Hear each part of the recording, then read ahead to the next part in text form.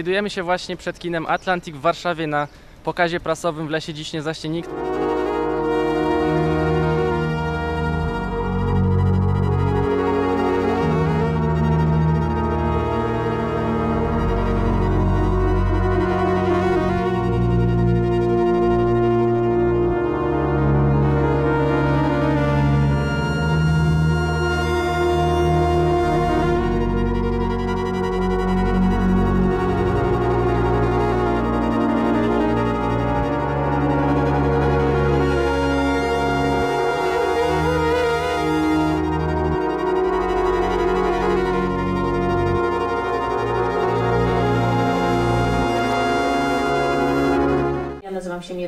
Zaradkiewicz, jestem producentem tego filmu, tak jak i nieobecny tutaj niestety Jan Kwieciński i Zenon Maślona.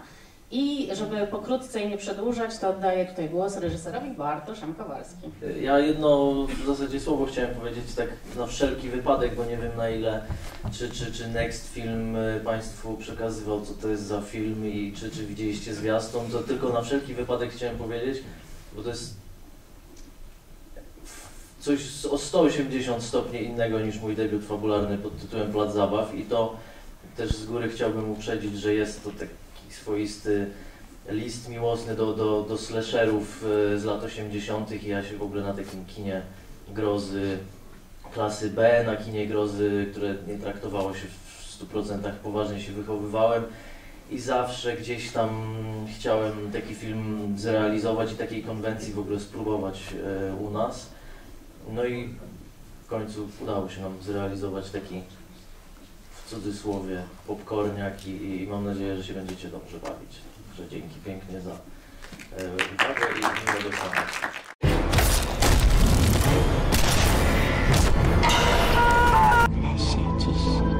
zaśnia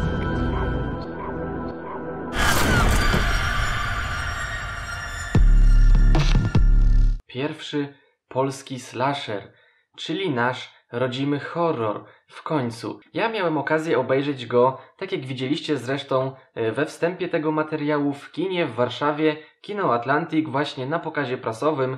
No i tak naprawdę kilka godzin później, dwie czy trzy zaledwie dowiedziałem się, że premiera filmu zostaje przesunięta przez dystrybucję. Taka decyzja zapadła, a następnego dnia zamknięto kina. No i w końcu się tego materiału w tym okresie, co miał wyjść na ten kanał, nie doczekaliście. Miał on wyjść 11 marca mniej więcej, bo premiera miała być 13 marca, w piątek 13 właśnie. Także przy okazji też serdecznie pozdrawiam mojego znajomego, który wybrał się ze mną na ten pokaz, e, który użyczył mi drona, nakręciliśmy wspólnie po prostu parę fajnych ujęć, no i ten materiał wygląda, mam nadzieję, lepiej i po prostu ciekawiej. Wyczekujcie również materiału, który już zaraz po publikacji tego, dosłownie w odstępie dwóch dni, pojawi się również na kanale, ale już macie do niego link w opisie, także kto jest zainteresowany już teraz może obejrzeć. Będzie to, a w zasadzie jest to, krótki wywiad z samym reżyserem Bartoszem M.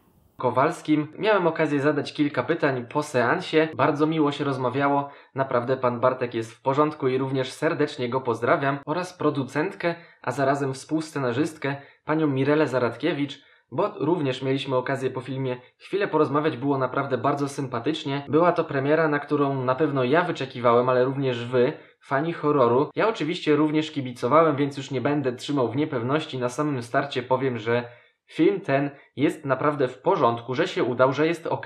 Jest parę rzeczy, o których tutaj powiem w charakterze tego, że czepnę się po prostu. Natomiast nie są to jakieś rzeczy ogromnej wagi, żeby tutaj od razu wykluczały film. Także też takim głównym zarzutem em, w zasadzie dwie takie rzeczy były. Mam wrażenie dwa takie główne punkty, przez które ludzie wykluczali pójście w ogóle do kina. Pierwsze to to, o czym wspomniałem, że to jest polski horror. No przecież nie, nie, nie, nie.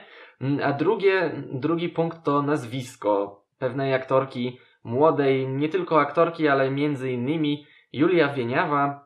I tutaj ludzie pisali, że przecież nie ma szans, ja już na ten film nie idę. Nawet jeśli Julka zagrałaby tutaj słabo, no to nigdy jeszcze nie miałem takiego podejścia do jakiegokolwiek filmu, że o, jest tam jedno nazwisko, które mi się nie podoba z jakiegoś powodu, to cały film od razu będzie do bani. To nie ma sensu. Ale szczerze trzeba tutaj przyznać, że Julka w tym momencie, gdzie już miała coś do zagrania, ponieważ jest ona taką tajemniczą postacią, przez można powiedzieć śmiało pierwszą połowę nie ma co zagrać, bo po prostu to wynika z tej postaci, że jest taką cichą, szarą myszką, która się nie odzywa, nie udziela, to wynika z jej przeszłości, ale jak zaczyna powoli na pierwszy plan wychodzić, odzywać się i po prostu jest ważna, jest tutaj z nami na pierwszym planie, no to Julka po prostu zagrała swoje, to co miała zagrać. I to nie jest taka rola, że wiecie, Julka jest pięknie wymalowana, chodzi w sukience i tak dalej, bo tak możecie ją kojarzyć, jeżeli śledzicie ją gdzieś tam w mediach. Czy z filmów, czy nie wiem, z na przykład programu taki jak Taniec z Gwiazdami? No właśnie nie. Tutaj powiedziałbym, ująłbym to w ten sposób, że jest to taka brudna Julka, która po prostu bez makijażu i zakrwawiona gra w polskim slasherze i będzie się krew tutaj oczywiście musiała przelać. Twórcy ewidentnie czerpią z gatunku od po prostu pierwszych powiedzmy znanych horrorów i szczególnie tutaj się przywijają lata 80. Jest to taka powiedziałbym laurka, czy taki hołd, czy taki ukłon w stronę lat 80., w stronę tamtych horrorów e, twórców, którzy wtedy po prostu powiedzmy wybijali się mm, i tworzyli podstawy tego gatunku ale przeplatane to wszystko jest tutaj po prostu poczuciem humoru i naprawdę rzadko któryś żart tutaj powiedzmy się nie udaje, albo jest po prostu taki, że aha, dobra, uśmiechnąłem się, ale się nie zaśmiałem. Nie, naprawdę było tutaj sporo takich żartów, w których ewidentnie śmiałem się ja, śmiała się sala. To znaczy, że nie było to moje tylko subiektywne odczucie, ale że to faktycznie działa i takich momentów było wiele. Jeden z nich na przykład jest w zwiastunie, to ten e, pan, który tutaj mm, powiedzmy przedstawia, co będzie się działo na obozie offline, bo film opowiada o grupie ludzi, grupie młodych ludzi, którzy trafiają właśnie na obóz offline, czyli bez komórek wszystkie urządzenia zostają w pudełku, oni są odizolowani, są w lesie, ale nie mają dostępu do sieci. No i to jest ten e, pan, który tutaj rzekomo nie wymawia R. No i to po prostu jest świetny gag. Ja żałowałem aż, że on się nie pojawił jeszcze później i że jeszcze trochę nas po prostu nie rozbawiał, ale nie tylko on. Mówka! Jeżeli śledziliście Instagrama, na przykład tam publikowane były już blisko tej pierwszej premiery, która miała być, czyli 13 marca, takie powiedzmy, nazwijmy to króciutkie vlogi. No i na przykład pojawił się ten pan, którego teraz widzicie i też taki świetny gag, mam wrażenie, no po prostu mnie rozbawiał chociażby mimiką, ale też sposobem bycia. Jaki jest las? Każdy widzi. Las jest super. No a w lesie co? Grzyby. A co to jest? Czy to, jakie linijki dialogowe zostają tutaj wepchnięte do jego ust. No i króciutko jeszcze o fabule no wyławia nam się po prostu jedna konkretna grupa, którą my będziemy śledzić już później do końca tego filmu, czyli jakby reszta tego obozu zostaje pominięta. Tutaj z tymi naszymi bohaterami po prostu zostajemy już do samego końca. Oczywiście wiadomo, że nie ze wszystkimi do końca, bo jest to slasher, więc ludzie będą ginąć w dziwnych okolicznościach. No i takim liderem, powiedzmy tutaj starszą osobą, opiekunem grupy e, jest Gabriela Muskała, która w zasadzie jest świetną aktorką. Zagrała na poziomie wysokim i, i jak najbardziej nawet w slasherze można mówić, że mamy wysoko powiedzmy takie sytuowane role, bo faktycznie tak się to tutaj układa. To jest tydzień przygód, rewelacyjnej zabawy i super okazji! Mam na imię Iza. Jestem opiekunką waszej grupy. No, zbierajcie się. Krew w połączeniu z poczuciem humoru i myślę, że to jest po prostu esencja tego. Nawiązań tak naprawdę w tym filmie jest cała masa tutaj można powiedzmy z rękawa tytułami rzucać. No dla przykładu, nie będę zdradzał konkretnych scen, ale akurat to było pod koniec. Jeżeli oglądaliście Drogę bez powrotu, no to na pewno rozpoznacie pewną scenę, to jest jedno z dziesiątek nawiązań tutaj, ale też powiedzmy, że trochę na przykład można nie tylko, ale powiedzieć o krzyku, w którym były pewne zasady, które w ogóle no właśnie jeden z bohaterów powiedzmy tutaj wyobrażał sobie w głowie, że właśnie w horrorach tak to wygląda, że tego i tego i tego nie można robić, albo tak i tak się dzieje, ale też na przykład takie dosyć konkretne skojarzenie miałem z Domem w głębi lasu, w którym faktycznie też były wyśmiewane, parodiowane schematu, była to pewnego rodzaju satyra na to, co się dzieje w tym gatunku, że są takie, a nie inne decyzje podejmowane, jakieś głupkowate, nie wiem, coś Carpentera, który swoją drogą jest jednym z ulubionych filmów tutaj reżysera. No, jeżeli znacie klasykę horroru, to ja chyba nie muszę wam tych wszystkich tytułów wymieniać, ale też te horrory po 2000, które jeszcze powiedzmy nie są jako taką klasyką, można jak najbardziej wynaleźć tutaj te odniesienia, czy te ewidentne czasami aż nawiązania. Piątek 13 na przykład tutaj scena nad jeziorem, no to takie ewidentne Crystal Lake, miałem wrażenie, że to jezioro wręcz po prostu tak samo wyglądało. Scena oczywiście tutaj dwójki młodych bohaterów, tutaj jakieś narkotyki, jakiś seks, no to po prostu wszystko, co mm, powiedzmy kreowało, budowało ten gatunek, e, podgatunek w zasadzie horroru, jakim jest slasher i te takie typowe elementy, które no slasher powiedzmy powinien posiadać i które my doskonale znamy, tylko po prostu dostajemy to w wersji polskiej, w horrorze niskobudżetowym, bo tutaj nie oszukujmy się, nikt nie miał na to ogromnego wkładu pieniężnego, a niski budżet w Polsce znaczy zupełnie też co innego niż niski budżet w Hollywood, bo tam na przykład takie 5 milionów dolarów to jest właśnie u nich niski budżet. No u nas to pewnie ten film nawet tyle nie zarobi, bo o budżecie to nie ma co mówić, no nie ma podjazdu, jakby nie ma szans, żeby taki budżet w ogóle dostać, ale bardzo mocno, ogromnie szanuję to, że właśnie ktoś w Polsce się pokusił, żeby to w końcu zrobić, żeby zrobić polski horror, także trzeba mieć jaja w tym kraju, nie oszukujmy się, żeby to zrobić, bo po pierwsze widzieliście pewnie, większość z Was widziała, jakie były reakcje już przed wyjściem filmu, także to była taka pierwsza obawa, że tutaj publika, widzowie mogą być sceptycznie nastawieni. Dwa, właśnie ten budżet i pewne rzeczy trzeba było ukrywać, E, tutaj na przykład poza kadrem, to troszeczkę mnie wybijało czasami, jeżeli były takie najbrutalniejsze sceny, a one się odbywały tylko w naszej wyobraźni, bo tak naprawdę nie było to nam pokazywane. Na przykład jakieś obcięcie ręki, krew tryskała, ale my nie widzieliśmy samego aktu odcinania tej ręki i takich scen było parę. Niemniej jednak rozumiem, cięcia budżetowe musiały jakieś tutaj nastąpić. Z drugiej strony, no tutaj też fajniej wyobraźnia wtedy zadziałała, bo wyobrażaliśmy sobie jak to wygląda. Jednak w tym przypadku myślę, że większość życzyłaby sobie, żeby to było po prostu bardziej brutalne, bardziej dosadne, żeby to było jednak pokazane. Na początku filmu też miałem taki problem, że w pewnym momencie tutaj się gubiła ostrość, tutaj obraz był taki lekko szarpany, jakby został nakręcony w 20 klatkach. To wynika pewnie też z ustawień pewnych, tutaj sprzętu czy z samego ruchu kamery, ale właśnie to gubienie ostrości również no nie było takim do końca dopracowanym elementem. Później mam wrażenie, że to się poprawiło, że było już lepiej. Być może operator czy ostrzyciel się trochę rozgrzał, ale z drugiej strony mogło mi się to już po prostu, nie wiem, oko przyzwyczaić i nie zwracałem na to uwagi, chociaż wydaje mi się, że to się poprawiło, bo raczej bym i tak zauważył, jeżeli nadal by były powiedzmy takie błędy. Mnie zdecydowanie najbardziej bawiła tutaj postać takiego bardzo dosadnie typowego nerda Michała Lupy, który po prostu no idealnie dobrany castingowo, ponieważ no jest to chłopak, który miał jechać e, na mistrzostwa tam Korei w CS-ie, ale trafił na obóz offline, no i przegapił to wszystko i teraz musi być tutaj. I to jakim czasami żartem zarzuci, albo ktoś w jego stronę jakimś żartem zarzuci, no generalnie z samej tej postaci po prostu, z tego jak się porusza, z tego jak wygląda, z tego jak mówi, z tego jak są napisane jego dialogi, to jest taka mała perełka i po prostu mnie to najbardziej zdecydowanie bawiło. To, co chciałem też podkreślić, to tutaj świetna charakteryzacja w ogóle antagonisty.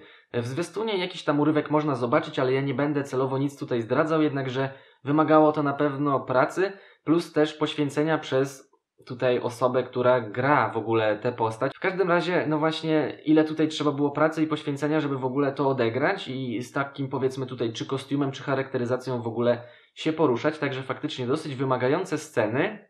I teraz ten film jest oczywiście schematyczny, jest pewnego rodzaju kliszą, ale tak jak wspominałem wcześniej, jest również właśnie tym ukłonem do klasyki horroru i nie tylko, i do wielu innych horrorów, ale też po prostu filmów, niekoniecznie horrorów. Tak jak mówię, masę nawiązań możecie tutaj sobie odczytywać. Ja nie będę o wszystkich mówił, bo nie starczy czasu mi w tej recenzji. I teraz pytanie, czy ten film miał być schematyczny?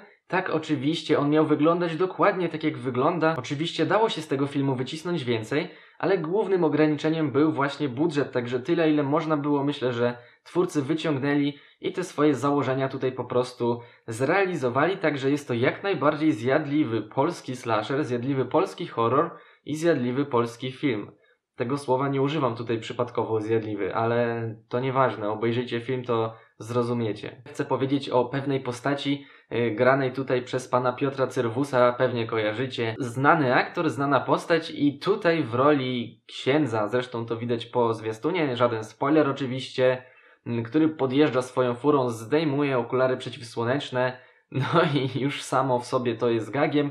Nie będę mówił, jak się zachowuje i co zrobi w tym filmie, ale przyznam, że no mocno się po prostu zaśmiałem i po raz kolejny nie tylko ja. To znaczy, że to zadziałało faktycznie. Taka kompletna drobnostka z rzeczy, których mi tutaj zabrakło, to jest tytuł na początku filmu, no bo nie ma tutaj wymienionej obsady, reżysera na początku i tak dalej, to wszystko jest dopiero w napisach końcowych, ale była pewna scena, pewne ujęcie w zasadzie z drona e, na las, właśnie jak wjeżdża autobus do tego lasu i ja byłem przekonany święcie, że wtedy pojawi się tytuł.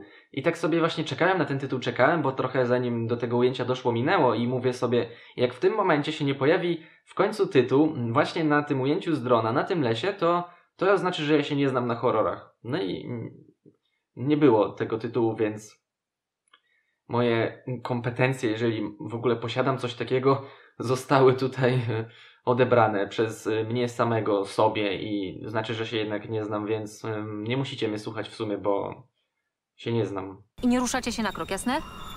A my z Zosią przejdziemy się po okolicy.